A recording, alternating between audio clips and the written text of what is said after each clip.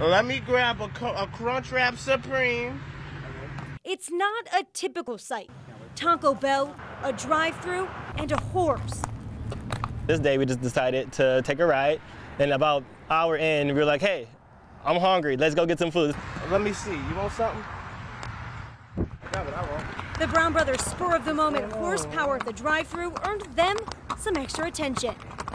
What's the problem? I feel like they thought we were just kids walking up to the machine, so they didn't want to give us food at first. But then they looked out the window and they're like, wait. sure enough, Carlton and Christopher got their food and kept riding. They say their city rides help train the horses for their numerous parades and parties they're a part of. Jitterbug is the star of the video.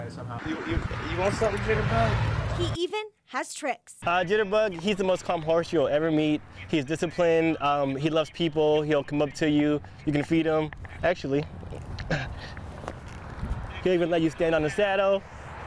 He won't move.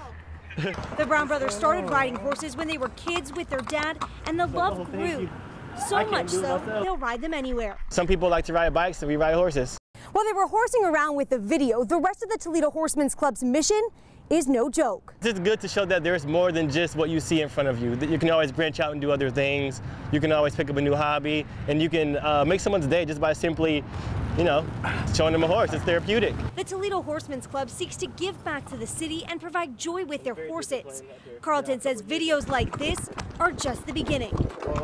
They want to continue to bring joy and surprises with a YouTube channel. It's, it's fun to see how people react to something so outrageous as this. It's, it's great. Despite those who may be naysayers, Carlton says they won't be reining it in anytime soon. Blair Caldwell, WTOL 11 on Fox 36.